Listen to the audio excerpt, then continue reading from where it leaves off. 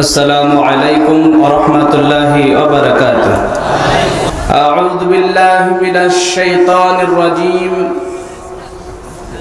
بسم الله الرحمن الرحيم قل إن كنتم تحبون الله فاتبعوني يحببكم الله ويغفر لكم جنوبكم الله غفور رحيم عن جابر رضي الله تعالى عنه قال قال رسول الله صلى الله عليه وسلم لا يدخل احدا منكم عماله الجنة ولا يجيله من النار ولا أنا إلا برحمتي. رب اشرح لي صدري ويسر لي امري واحلل عقدة من لساني افقه قولي ربي زدني علما اللهم ربي زدني علما প্রশংসা সবই আল্লাহ তাবারাক ওয়া তাআলার জন্য যিনি আজকের সন্ধ্যায় আল কোরআন এবং সহিহ হাদিস শোনার এক সুবর্ণ সুযোগ করে দিয়েছেন। সেই আল্লাহর প্রশংসায়, তেনার শেখানো ভাষায়, সেজদা শ্রদ্ধা জড়িত কণ্ঠে, আবেগের সঙ্গে মোহাব্বতের ভাষাতে সকলে মিলে বলুন, আলহামদুলিল্লাহ। এরপর দোয়া করব সেই মহামানবের জন্য। যিনি পৃথিবীর মাটি থেকে মারামারি, কাটাকাটি, ফাটাফাটিকে উৎখাত করেছিলেন, স্বৈরাচারী, কালোবাজারি দোনাম্মারের বিরুদ্ধে প্রতিবাদ এবং প্রতিরোধের ব্যবস্থা গড়ে তুলেছিলেন। তিনি হলেন বিশ্ব বরণ্য, সকলের গ্রহণীয়, সকলের আদরণীয়। জন, মন, ধন্য, জগতীয় মন্য, সনাম ধন্য। নবী মোহাম্মদুর রসুল্লাহ সাল্লাহ আলাইহি ওয়াসাল্লামের উপর অজস্র ধারায় বর্ষিত হোক, দরুদ এবং সালাম। আল্লাহুম্মা আমিন। আল্লাহুম্মা সাল্লি আলাই, আল্লাহুম্মা বারিক আলাই। আজকের এই মহা সম্মেলনে সংক্ষিপ্ত আকারে আমার আলোচনার বিষয় পরকালে মুক্তির উপায়। আলোচনা শুরু করার আগেই আজকে সভা কেন্দ্র করে দুটি কথা বলব। ইনশাল্লাহ তালাল আজিজ, এরপরে আমার মূল বিষয় শুরু করব। আমি শুরুতেই শ্রোতামণ্ডলীর কাছে একটু অনুরোধ করব। আপনারা এসেছেন ইসলামিক মহাসম্মেলনে, তাই না ভাই? ইসলামিক সম্মিলনে, অর্থাৎ ইসলামের ধর্ম অনুসারী যারা তাদের সম্মেলনে। তাহলে ইসলাম ধর্ম রীতি রেওয়াজ মোতাবেক আমাদেরকে এখানে থাকতে হবে, তাই না ভাই? ধর্মের ব্যাপারটা একটু আলাদা। ইসলাম ধর্ম এবং বিভিন্ন ধর্মের মধ্যে অনেক তফাত আছে, অনেক পার্থক্য আছে। আপনাকে এক মিনিট সময় নিয়ে আমি তফাত পার্থক্যটুকু দেখাচ্ছি। এই দুটা ধর্ম, আমার দিকে তাকান। একটা হচ্ছে ইসলাম ধর্ম আর একটা হচ্ছে সনাতন ধর্ম, যাকে হিন্দু ধর্ম বলে জানি। দুইটা ধর্মের মধ্যে কত তফাত কত পার্থক্য দেখুন। আগে আপনাকে আমি দেখাই হিন্দু ধর্মটা। যদি এখন আপনাদের সামনে আমি বলি, ইয়া দেবী সর্বভূত নমস্তিত সংহারিত নমস্তিত বহুরূপী নমস্তি তু নমস্তে সই নমস্তে সই নমস্তে সই নমস্তি তো নমো। নমহা এটা বলে হিন্দু হতে হয়। আর আমি আপনাদের সামনে ঘোষণা দিচ্ছি যে আমি হিন্দু হয়ে যাব। শর্ত একটা, হিন্দুদের কোনো একটা মন্দিরের আমাকে প্রহিত বানাতে হবে। আমি হিন্দুদের যত ধর্মগ্রন্থ আছে, সব পড়ে মুখস্থ করে বসে আছি। একটা ছোটোখাটো মন্দিরের প্রহিত বানিয়ে দিলেই আমি হিন্দু হয়ে যাব। এই শর্তে কি হিন্দুরা আমাকে হিন্দু বানাবে এটা হচ্ছে হিন্দু ধর্ম। আর ইসলাম ধর্মটা দেখুন, সারা পৃথিবীর মাটিতে যেই ব্যক্তি ইসলামকে সবচাইতে বেশি ঘৃণা করে, সেই ব্যক্তি যদি একদিন বলে, আশহাদু আল্লাহ ইলাহা ইল্লাল্লাহ ও আন্না মুহাম্মাদান আবদুহু ওয়া রাসূলু, যদি সে মুসলমান হয়ে যায়। আর তার কাছে যদি কোরআন এবং হাদিসের ইলিম থাকে, তাহলে আপনাদের এই নরসিংদীর জামে মসজিদ তো দূরের কথা, ওকে কাবা শরীফ করে ইমাম করা যেতে পারে, ঠিক কিনা ভাই? এটা হলো ইসলাম ধর্ম। তাহলে ধর্মের ব্যাপারটা আকাশ পাতাল তফাত আপনারা এসেছেন ইসলামিক ধর্মীয় সভাতে যার জন্য এখানে ইসলামটাকে মেনে আপনাকে থাকতে হবে। যে সমস্ত ভাইরা এদিকে সেদিকে আছেন, দূরে আছেন, দাঁড়িয়ে আছেন, তাদের সবাইকে অনুরোধ করব, ইসলামিক সভার রীতি হচ্ছে, আপনি কোরআন হাদিসের আলোচনা বসে সুন্দরভাবে শুনবেন। যার জন্য যারা দাঁড়িয়ে আছেন, তাদেরকে শুরুতেই অনুরোধ করব এখানে বসে যাওয়ার জন্য। কেউ দাঁড়িয়ে থাকবেন না। দুই নাম্বার বিষয় হচ্ছে আমি বাংলাদেশের সর্বপ্রথম। এর আগে আমি আসিনি।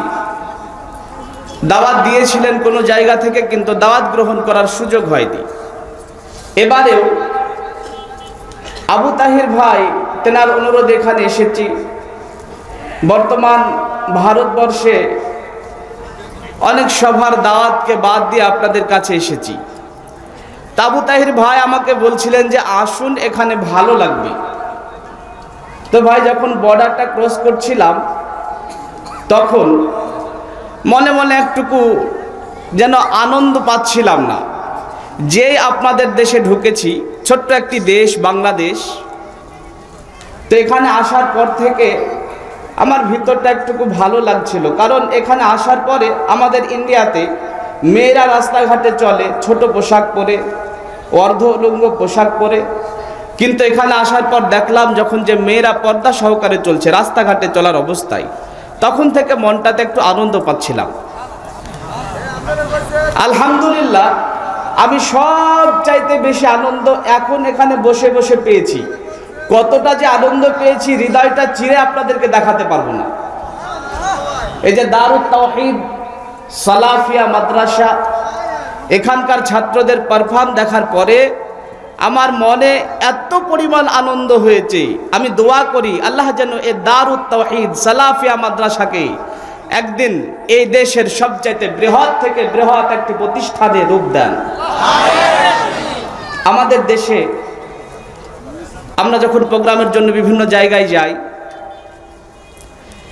তো এমন বাচ্চাদেরকে বলানোর জন্য নিয়ে আসা হয়। কিন্তু তারা শুরুতেই সালাম দেওয়ার পরিবর্তে বলে, নমস্কার। আবার বলে, না না না সালাম আলাইকুম। মানে ওদের কালচারটা হচ্ছে নমস্কার বলা। সালাম দিতে হয় তা ভুলে যায়। কিন্তু এখানে বাচ্চা বাচ্চা ছেলেরা এত সুন্দর পারফর্ম করেছে। এই বাচ্চারা একদিন দিনের রাহবার হবে। আল্লাহ যেন তাদেরকে কবুল করেন, বলুন আল্লাহ আমি আলোচনার বিষয়, পরকালে মুক্তির উপায়। মর্মে গুরুত্বপূর্ণ আলোচনা হবে ইনশাল্লাহ এখনও পর্যন্ত যারা দাঁড়িয়ে আছেন, তাদেরকে অনুরোধ করব, বিনীত ভাষায়, ভাই আপনারা বসে যান। সম্মানিত উপস্থিতি, আমরা যারা এখানে উপস্থিত হয়েছি, আমরা সবাই পরকালে পরিত্রাণ পেতে চাই, তাই না ভাই? পরকালে পরিত্রাণ পেতে চাই না, এমন কোনো মানুষ আছেন? সবাই আমরা পরকালে পরিত্রাণ পেতে চাই। তাহলে পরকালে পরিত্রাণ পাওয়া যাবে কি করে? পরকালে পরিত্রাণ পাওয়ার রাস্তা কোনটা? জাবের রাজিয়াল্লাহ তালা আনহু বলছেন, রসুল সাল্লাহ আলাইহি ওয়াসাল্লাম বলেছেন, লা ইদখিলু আহাদাম মিনকুম আমালুহুল জান্নাহ। ওয়ালা ইউজিরুহু মিনান নার, ওয়ালা আনা ইল্লা বি রাহমাতি পরকালে পরিত্রাণের জন্য আমরা যদি পরকালের জীবনটাই জান্নাত পেয়ে যাই, তাহলেই পরিত্রাণ, তাই না ভাই? পরকালীন জীবনে যদি আমরা জান্নাত না পাই, আমরা যদি জাহান নামে যাই, তাহলে সেটাকে আমাদের পরিত্রাণ? তাহলে পরকালীন জীবনে পরিত্রাণ পাওয়ার জন্য জান্নাত যাওয়া লাগবে। জান্নাত গেলে মানে পরিত্রাণ পেয়ে গেলাম। জান্নাত যাব কি করে? জাবের রাজি আল্লাহ তালা আনহু বলছেন জান্নাহ কোনো মানুষ তার আমল দিয়ে জান্নাতে যেতে পারবে না। আল্লাহর নবী বলছেন, কোনো মানুষ তার আমল দিয়ে জান্নাতে যেতে পারবে না। ওয়ালা ইউজিরুহু মিনান নার। এবং কোনো মানুষ তার আমল দিয়ে জাহান্নাম থেকে বাঁচতে পারবে না। এখন যদি কোনো মানুষ মনে করেন যে আমি তো সালাত আদায় করি, তাহাজ্জুদ গুজারি, হজ করেছি, আমি এই সলাদ দিয়ে, তাহাজ্জুদ দিয়ে, হজ দিয়ে জান্নাত চলে যাব, তাহলে আপনি ভুল সিদ্ধান্ত গ্রহণ করেছেন। সলাদ দিয়ে, তাহাজ্জুদ দিয়ে, এবাদত দিয়ে আল্লাহর জান্নাত পাওয়া যাবে না। আজকে আপনাদের এখানে জুমার সালাত আদায় করেছি। আর আলহামদুলিল্লাহ, যাদের বক্তব্য শুনে আমরা হেদায়েত হয়েছি, হেদায়েত বলতে আমরা তো মূলত পীরের ঘরের সন্তান। আমরা হচ্ছি পীরের ঘরের সন্তান। আমার দাদিমা, তিনি যখন ইফতার করতেন, তখন আল্লাহর নাম না নিয়ে তিনি বলতেন খাজা মঈনুদ্দিন চিস্তি। যখন ঝড় হতো, বৃষ্টি হতো, তখন আল্লাহকে না ডেকে ডাকতেন, পীর সাহেব, তুমি বাঁচাও। বিভিন্ন পীরের নাম করে ডাকতেন। তা আমরা সেই ঘরের সন্তান, আমরা হেদায়েত পেয়েছি, মূলত। ডাক্তার জাকির নায়ক, নাম শুনেছেন না ভাই? আব্দুর রাজ্জাক বিন ইউসুফ, নাম শুনেছেন না? মুজাফর বিন মহাসিন, নাম শুনেছেন না? ইনাদের বক্তব্য থেকে। আমরা তো সেখানে যেতাম, মানুষকে পীরের পায়ে সাজদা করবার জন্য, মানুষকে সেই দিকে ডাকতাম। আপনারা নিশ্চয় জানেন যে আমাদের যে এলাকায় বসবাস করি, ওই এলাকাতে আমরা তিনজন দায়ী, দাওয়াতি কাজ করি। আপনারা চিনেন একজনকে হয়তো বা ব্রাদার রাহুল। চিনেন? ওনার বাড়ি আর আমার বাড়ি একেবারে কাছে, পনেরো মিনিটের রাস্তা। আমাদের এলাকাটা একেবারে মাজারে, পীরে, এতে ভরপুর। এখন আমরা দিনটাকে বুঝতে পারার পরে দাওয়াতির ফিল্ডে নেমে গিয়ে এখন অনেক মানুষ হেদায়ত পেয়েছেন। তো সম্মানিত উপস্থিতি, আজকের জুমার খুদ্বাতে শেখ মুজাফর বিন মহাসিন তিনি আলোচনা করছিলেন যে এবাদত করলে গোনা মাফ হয়, সাদকা করলে গোনা মাফ হয়। সত্যি, এবাদত করে মানুষ জান্নাতে যাবে এমনটা নয়, এবাদত করলে গোনা মাফ হয়। আল্লাহর নবী বলেছেন, ইন্নাল আবদা ইউসাল্লি যখন আল্লাহর কোনো বান্দা সালাতে দাঁড় হয়, নামাজ আরম্ভ করে, আল্লাহ আকবার এই বলে, খতায়াহু মারফাতুন আলা রাসিহি তখন তার যত পাপ আছে, সব পাপ মাথায় চলে যায়। হাতে পাপ করেছে, পায়ে পাপ করেছে, অঙ্গ প্রত্যঙ্গে পাপ করেছে। আপনি সলাতে দাঁড় হয়েছেন, আপনার সব পাপ মাথায়। কুল্লামা সাজাদা যতবার সাজদা করে, পাপ ঝরে যায়। ফালাম্মা ইফরাগুসলা এমন করে যখন সেই ব্যক্তি সলাৎ শেষ করে, তার সব পাপ ঝরে যায়। সলাতে পাপ ঝরিয়ে দেয়, কিন্তু সলাতি আপনাকে জান্নাত নিয়ে যাবে এমনটা নয়। আল্লাহ নবী বলছেন, লা আমল, এবাদত মানুষকে জান্নাতে নিয়ে যাবে না। আমি বলছি, পরকালে মুক্তির পথ। আপনি যদি জান্নাত পান, তাহলে পরকাল আপনি মুক্তি পেয়ে গেলেন, পরিত্রাণ পেয়ে গেলেন। আমল, এবাদত করে আপনি জান্নাতে পাবেন না। আল্লাহ নবী বলছেন আফজালুস সালা, বাদাল ফারিজাতু সালাতুল লাইল। ফরজ সালাতের পরে সবচাইতে মহামূল্যবান সালাত তাহাজ্জুতের সালাত। একেবারে তানহা, একেবারে গোপনে, একেবারে একা, সবাই যখন ঘুমিয়ে আছে এই অবস্থাতে আপনি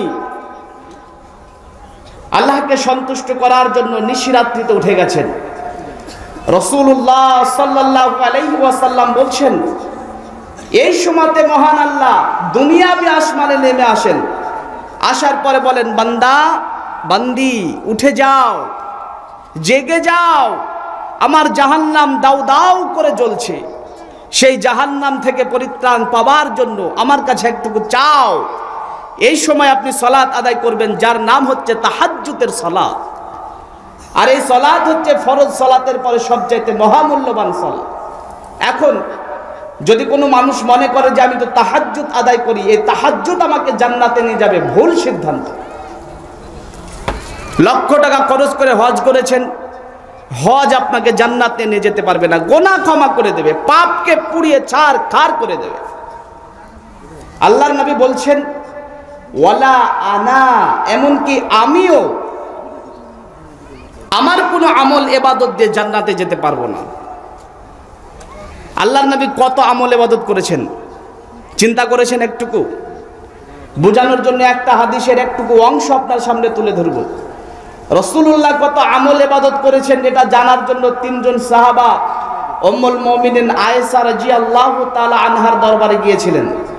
আপনারা জানেন হাদিসটি, তারপরে স্মরণ করে দিচ্ছি। রসুল কত আমল এবাদত করেছিলেন এটা জানতে চেয়েছিলেন। পরিমাণটা শোনার পরে একজন সাহাবা হতকম্প অবাক হয়ে একজন সাহাবা বলছে, জীবনে আমি আর কোনোদিন রাতের বেলায় ঘুমবো না। আর একজন সাহাবা বলছে, সারাটা জীবন ধরে আমি সিয়াম পালন করে যাব। আর একজন বলছে, আমি আর বিবাহ করব না। চিন্তা করেন, রসুল কত আমল এবাদত করেছেন। এত আমল এবাদত করার পরে আল্লাহর নবী বলছেন আমিও আমার কোনো আমল দিয়ে জান্নাতে যেতে পারব না। তাহলে কে জান্নাতে নিয়ে যাবে? কে জাহান্নাম থেকে বাঁচাবে? জান্নাত পেয়ে পরকালে পরিত্রাণ পাবো কীভাবে? আল্লাহর নবী হাদিসের শেষ অংশে বলছেন, ইল্লা বি রাহমাতি। যে জান্নাতে নিয়ে যাবে, যে জাহান্নাম থেকে বাঁচাবে, যে পরিত্রাণ পাইয়ে দেবে পরকালে তার নাম হচ্ছে আল্লাহর দয়া, আল্লাহর ভালোবাসা। বুঝতে পেরেছেন না ভাই? আল্লাহর দয়াতে একটা মানুষ পরকালে পরিত্রাণ পেতে পারে। আল্লাহর দয়াতে একটি মানুষ পরকালীন জীবনে জান্নাতে যেতে পারে। আমল এবাদত করে যদি জান্নাতে যাওয়া সম্ভব হতো, তাহলে সর্বপ্রথম জান্নাতে যেত শয়তান। শয়তান আমল এবাদত করেছিল কি করেছিল না? করেছিল না ভাই? শয়তান আমল এবাদত করার পরে সে জাহান্নাম যাবে না জান্নাতে যাবে? কেন যাবে?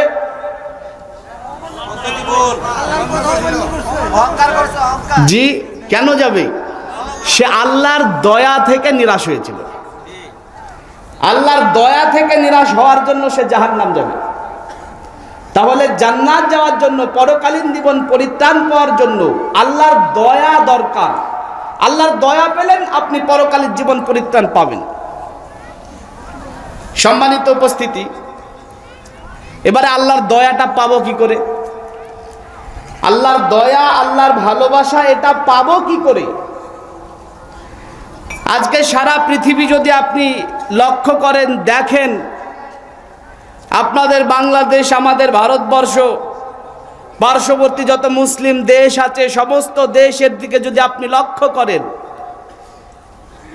তাহলে দেখতে পাবেন যে আল্লাহর ভালোবাসা, আল্লাহর দয়া পাওয়ার জন্য হাজার হাজার মানুষ, হাজার হাজার পথ পদ্ধতি অবলম্বন করেছে।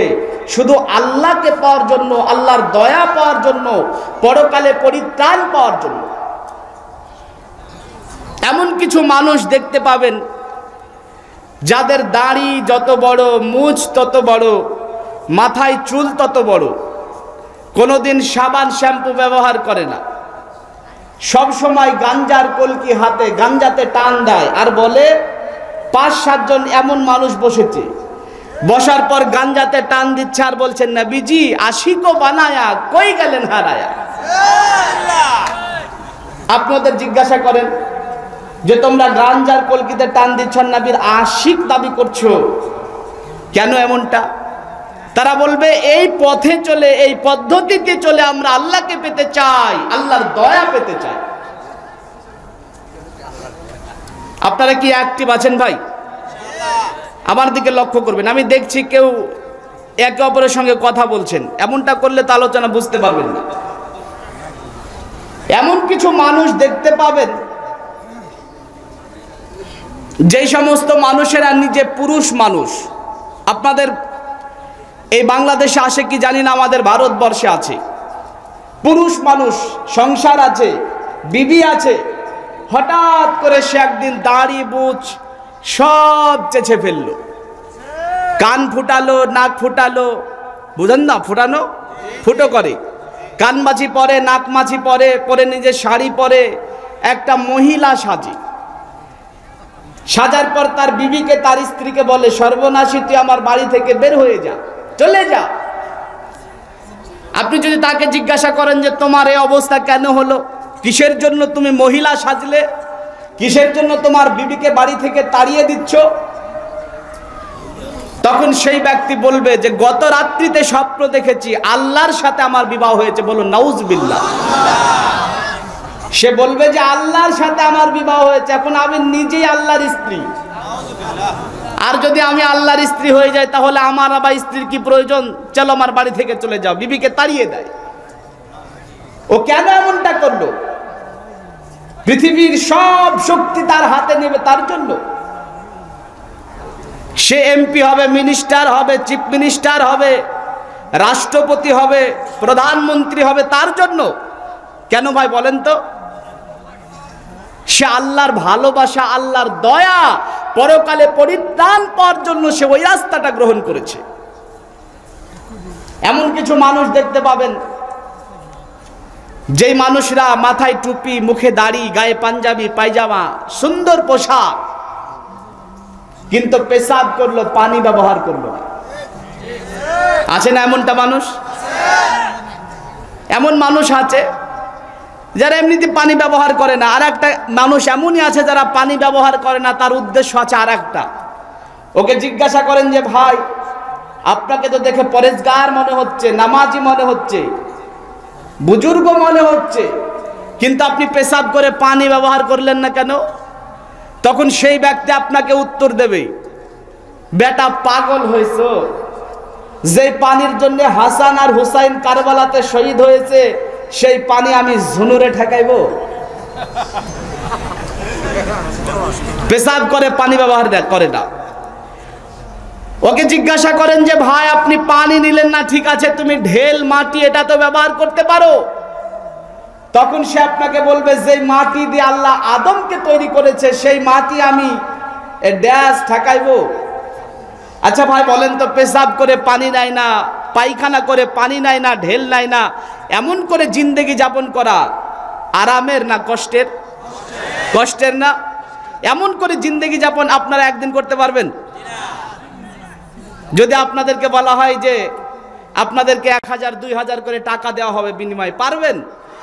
কিন্তু ওরা অমন করে জিন্দেগি যাপন করছে। কেন? আল্লাহর দয়া পাওয়ার জন্য, পরকালে পরিত্রাণ পাওয়ার জন্য। এমন কিছু মানুষ আছে যারা উলঙ্গ হয়ে জিন্দগি যাপন করে। ন্যাংটা অবস্থায় জিন্দগি যাপন করে। দেখেছেন এমন কিছু মানুষ? আপনাদের বাংলাদেশে আছে? আমাদের ইন্ডিয়াতে আছে। উলঙ্গ হয়ে জিন্দগি যাপন করছে। জিজ্ঞাসা করেন যে, তুমি উলঙ্গ হয়ে জিন্দগি যাপন কেন করো?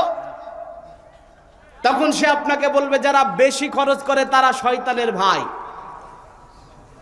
আর যখন দুনিয়াতে এসেছিলাম, উলুঙ্গ অবস্থায় এসেছিলাম। এখন যদি জামা কাপড় বেশি ব্যবহার করি, তাহলে বেশি ব্যবহার করা হয়ে গেল। জামা কাপড় ব্যবহার করলাম মানে বেশি ব্যবহার করা হয়ে গেল। উলঙ্গ ছিলাম, জামা কাপড় ব্যবহার করছি। তাহলে তো আমি শয়তানের ভাই হয়ে যাব। আমার শয়তানের ভাই হওয়া দরকার নেই, আমি জামা কাপড় ব্যবহার করব না। উলঙ্গ হয়ে জিন্দগি যাপন করে। উদ্দেশ্য আল্লাহর দয়া পাওয়ার জন্য, পরকালে পরিত্রাণ পাওয়ার জন্য। পরকালে পরিত্রাণ পাওয়ার জন্য তারা ওই রাস্তাটাকে বেছে নিয়েছে উলঙ্গ হয়ে জিন্দগি যাপন করছে। আবার হাজার হাজার মানুষ ওই উলঙ্গ ব্যক্তিদের কাছে গিয়ে চাইছে, চাই কি চাই না? চাই না? আমি দেখেছি আমাদের ইন্ডিয়াতে ফারাক্কা ব্রিজ বলে একটা ব্রিজ আছে, আপনারা জানেন? ওই ব্রিজের কাছে দেখছিলাম যে একজন আপনার ওই ন্যাংটা বাবা দাঁড়িয়ে আছে, আর ওর কাছে কিছু সুন্দরী যুবতী মহিলারা গেছে যাদের গলায় আবার ঢোল ঝোলানো ঢোলে বাড়ি মারছে আর বলছে, একটা জ্ঞানের বাতি জ্বালায় আদে, ন্যাংটা বাবা আমার অন্তরে। যেই বাতিটা দিয়ারে ন্যাংটা, দেখব আমি তোমারে। দিনে ন্যাংটা, রাতে ন্যাংটা ন্যাংটা থাকে আমার অন্তরে। ন্যাংটার কথা মনে পড়ে, মন থাকে না সংসারে। বলো নাউজবিল্লা ন্যাংটার কাছে চাই, জিজ্ঞাসা করুন যে তুমি ন্যাংটার কাছে কেন চাচ্ছ সে বলবে যে, এই ন্যাংটার মাধ্যমে আল্লাহর দয়া পেতে চাই, আল্লাহর ভালোবাসা পেতে চাই। ছোটবেলায় দেখেছিলাম, আমার দাদিমা আমাদের ওইখানে একটা মাজার আছে, লাখ লাখ মানুষ সেখানে যায়। যেখানকার পীর সাহেবের নাম হচ্ছে দাতা মাহবুব শাহ। ওর কাছে যায়। আমার দাদিমার সঙ্গে আমি গিয়েছিলাম একবার ছোটবেলায় সে জায়গায়। তো ওখানে যাওয়ার পরে আপনার সাজদায় পড়ে গেল।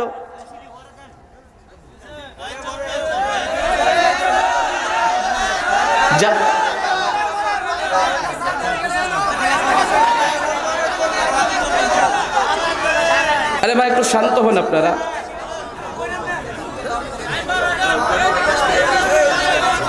একটু শান্ত হন আপনারা।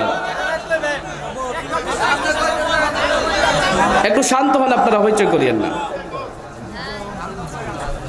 তো ভাইয়া,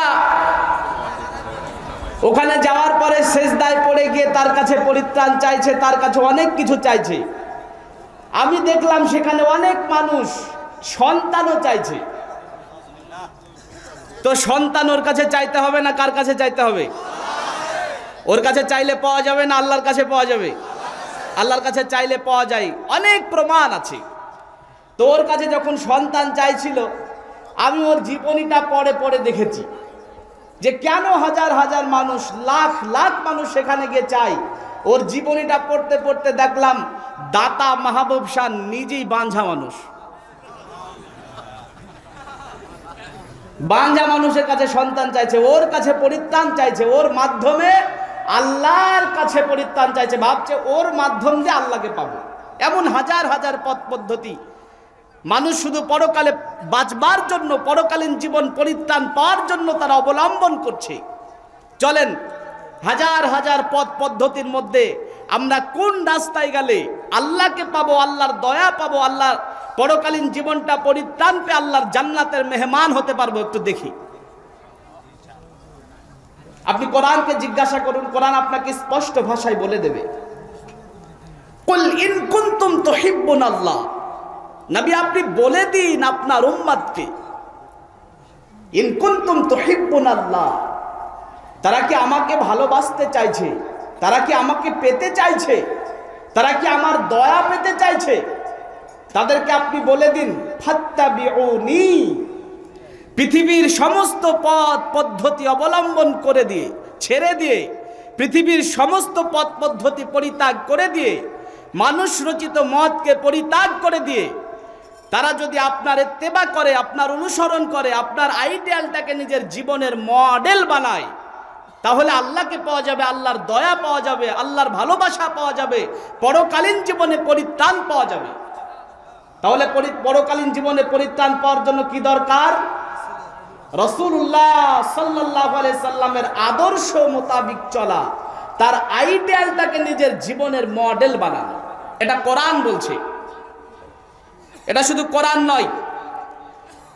আপনি পৃথিবীর যেই ধর্মগ্রন্থ পড়বেন, সেই ধর্মগ্রন্থে লেখা আছে যে মোহাম্মদ সাল্লাহ সাল্লামের আদর্শ অনুসরণের মাধ্যমে পরকালে পরিত্রাণ পাওয়া যাবে।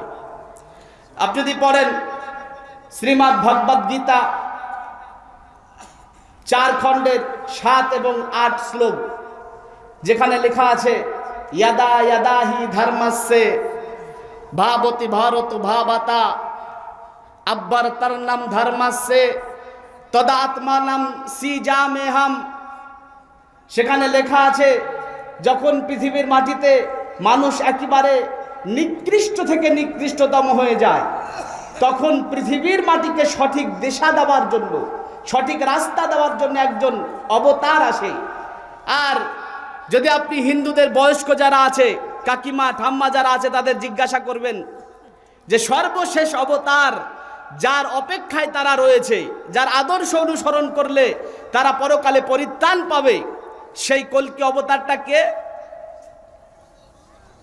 ভাগবত পুরানা সাত নাম্বার খণ্ডের এক হাজার উনআশি নাম্বার পৃষ্ঠায় একেবারে স্পষ্ট ভাষায় উল্লেখ আছে তিনি হলেন মোহাম্মদুর রসুল্লাহ সাল্লাহ সাল্লাম।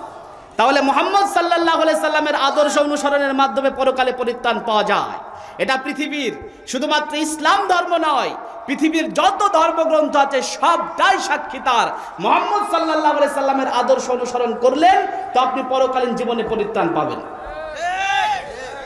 সম্মানিত উপস্থিতি, আলোচনা বিষয় অনেক লম্বা, কিন্তু প্রচণ্ড শীত, এই সময় বেশি সময় আপনাদের কাছে নেওয়া যাবে না। অনেক আলোচক রয়েছেন। আমাকে পাঁচ মিনিটে শেষ করতে বলা হয়েছে। পরিশেষে আর একটি কথা বলে বক্তব্য শেষ করবে ইনশাল্লাহ। আজকে সারা পৃথিবীতে, এমনকি আমার দেশেও মুসলমানদের এক করুণ দুর্দশা। সারা পৃথিবীতে মুসলমান লাঞ্ছিত, অপমানিত, পদতলিত, বিজাতির হাতে মার খেতে খেতে আজকে শেষ হয়ে গেছে। তার কারণ কি বলেন তো? তার কারণটা বলতে পারেন? মুসলমানের সারা পৃথিবীতে লাঞ্ছিত অপমানিত হওয়ার জন্য আর একটা কারণের কথা আপনাকে আমি বলে যাই। খুবই স্পষ্ট ভাষায় বোঝার চেষ্টা করবেন। রাস্তাঘাটে চলেন একটা ছোট গাড়ি আপনার ওই যে ভ্যান কিংবা আমাদের দেশে টোটো আপনাদের এখানে আছে টোটোর সঙ্গে একটা যদি বড় গাড়ির সঙ্গে অ্যাক্সিডেন্ট হয়ে যায় আমরা কাকে বকাবকি করব। বড় গাড়িকে তাই না? বড় গাড়িটার সঙ্গে যদি একটা বাঁশের সঙ্গে অ্যাক্সিডেন্ট হয়ে যায় কাকে বলব? কাকে বলব ভাই? বাসটাকে। এখন বাসটার সঙ্গে একটা ট্র্যাকের লেগে গেল, কাকে বলব? বলেন, ট্র্যাকের সঙ্গে একটা ট্রেনের লেগে গেল, কাকে বলব? ট্রেনকে বলবেন? ট্রেনকে বলবেন, ট্রেন শুনে নেবে? ট্রেন আপনাকে স্পষ্ট ভাষায় বলে দেবে যে, ভাই, আমি কারও রাস্তায় যাই না, আমার জন্য সরকার দুটা রাস্তা রেখেছে। আমি এই দুটা রাস্তার উপরে দিয়ে চলি। আর আমার এই রাস্তাতে যে আসে তাকে আমি পিষে দিয়ে চলে যাই। আপনার কোনো কথা আর চলবে না। অনুরূপভাবে মুসলমানদের দুটা চলার পথ, দুটা চলার রাস্তা আল্লাহর রসুল দিয়ে গেছেন, যেটা হলো কিতাবুল্লাহ ও সুন্নাতে রসুল, একটা হচ্ছে কোরআন আর একটা হচ্ছে হাদিস। আল্লাহ রসুল বলেছেন, তুমি যদি এই দুই চাকার উপর দিয়ে চলো লান্তাজিল্লু পৃথিবীতে তুমি লাঞ্ছিত হবে না, অপমানিত হবে না, পদতলিত হবে না। পৃথিবীর কেউ তোমাকে রাঙ্গা চোখ দিয়ে, চোখ রাঙ্গে কথা বলতে পারবে না। আজকে আমরা নবীজির আদর্শ ছেড়েছি, হাদিস ছেড়েছি বাপ রাতার বাপ দাদার রচিত পথে চলছি। কোরআন ছেড়েছি বলে আজকে আমাদের এই জিল্লাতি। দুনিয়াতেও জিল্লাতি হচ্ছি, পরকালেও পরিত্রাণ পাবো না। তাই পরকালে পরিত্রাণ পাওয়ার জন্য মোহাম্মদুর রসুল্লাহ সাল্লাহ সাল্লামের আদর্শ অনুসরণ করতে হবে। আল্লাহ যেন আমাদেরকে বুঝবার এবং মানবার তৌফিক এনায়ত করেন। আল্লাহ আমিন। সুবাহানাক আল্লাহুম্মা বিহামদিকা। আশহাদু আল্লাহ ইলাহা ইল্লা আনতা।